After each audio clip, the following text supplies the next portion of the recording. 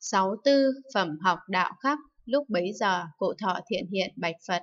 bạch Thế Tôn các đại Bồ Tát đầy đủ sự giác ngộ tối thắng. Tuy có thể thọ hành pháp sâu xa như thế, nhưng đối với việc ấy chẳng cầu quả báo. Phật dạy, này thiện hiện, đúng vậy, đúng vậy, đúng như ông đã nói, các đại Bồ Tát đầy đủ sự giác ngộ tối thắng. Tuy có thể thọ hành pháp sâu xa như thế, nhưng đối với việc ấy chẳng cầu quả báo. Vì sao? Thiện hiện vì các đại Bồ Tát đối với tự tánh không lay động. Cụ thọ thiện hiện lại bạch Phật, bạch Thế Tôn các đại Bồ Tát, có thể đối với tự tánh nào mà không lay động. Phật dạy, này thiện hiện, đại Bồ Tát có thể đối với tự tánh vô tánh không lay động. Bạch Thế Tôn các đại Bồ Tát có thể đối với những pháp tự tánh vô tánh nào mà không lay động.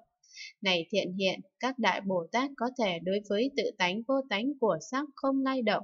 có thể đối với tự tánh vô tánh của thọ tưởng hành thức không lay động, có thể đối với tự tánh vô tánh của nhãn xứ không lay động, có thể đối với tự tánh vô tánh của nhĩ tĩ thiệt thân ý xứ không lay động, có thể đối với tự tánh vô tánh của sắc xứ không lay động, có thể đối với tự tánh vô tánh của thanh hương vị xúc pháp xứ không lay động, có thể đối với tự tánh vô tánh của nhãn giới không lay động, có thể đối với tự tánh vô tánh của nhĩ tĩ thiệt thân ý giới không lay động,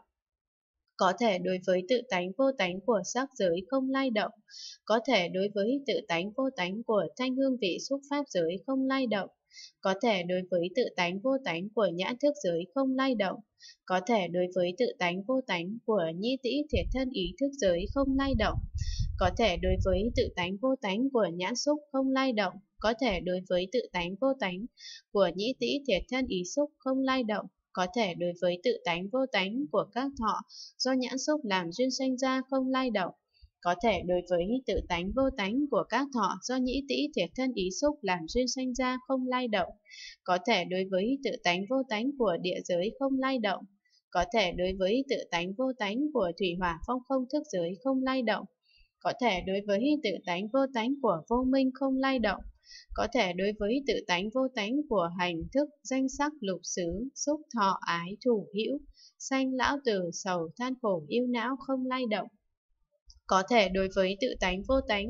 của bố thí ba la mật đa không lai động, có thể đối với tự tánh vô tánh của tịnh giới an nhẫn, tinh tấn, tịnh lự, bát nhã ba la mật đa không lai động, có thể đối với tự tánh vô tánh của pháp không nội không lai động,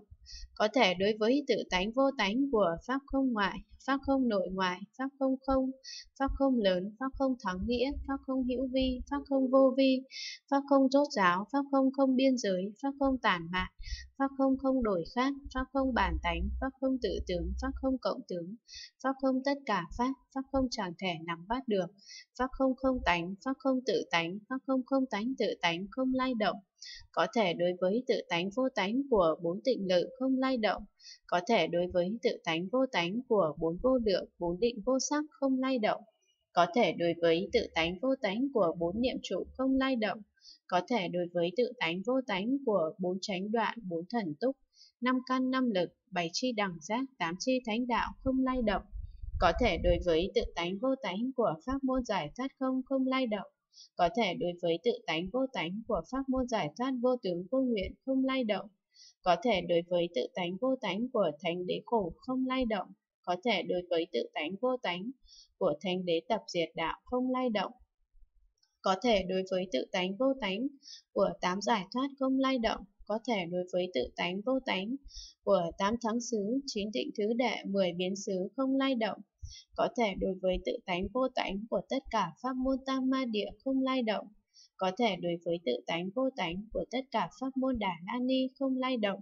có thể đối với tự tánh vô tánh của mười địa Bồ Tát không lay động, có thể đối với tự tánh vô tánh của năm loại mắt không lay động, có thể đối với tự tánh vô tánh của sáu phép thần thông không lay động, có thể đối với tự tánh vô tánh của mười lực Phật không lay động,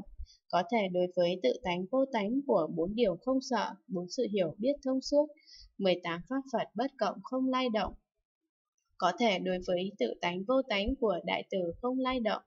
Có thể đối với tự tánh vô tánh của đại bi, đại hỷ, đại xả không lay động. Có thể đối với tự tánh vô tánh của pháp không quên mất không lay động.